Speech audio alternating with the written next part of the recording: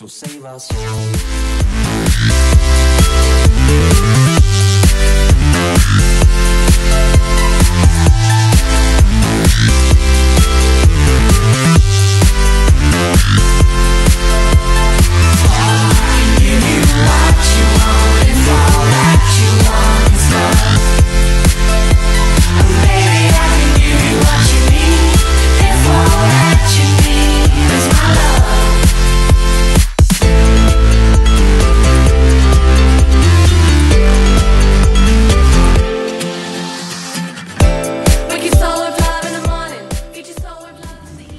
Alright, hey, it's Andy Yates. Uh, we're gonna be talking about small fins versus big fins. Um, I'm gonna share some my experiences riding the two and um, yeah, give you a bit of information about and hopefully shed some light on which one is the fin size for you.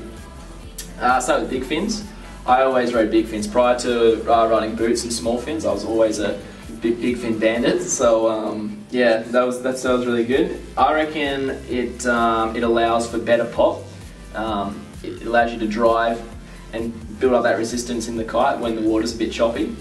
However, it is prone to catching and getting sticky on the landing. So I think go with the big fins if you're learning a trick because you can generate the pop needed and the height for the trick.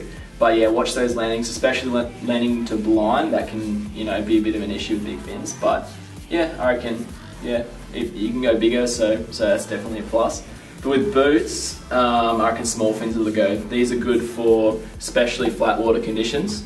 Um, however, in the in the chop, they do get a bit scatty, a bit slidey, and sometimes, or for me anyway, sometimes when I load up and pop, they kind of slide out, and I don't get the, the required height that I need to do my tricks. But um, you know, I guess it's all assessing the conditions and, and what works for you. If you you know if you can't land with the big fins, then go for the small fins. But if you can't pop and you're skating out all the time, um, jump onto a bigger set of fins. It's really assessing the conditions and your rider ability, and, and yeah, going from there. But I just alternate between the two, whatever it's doing.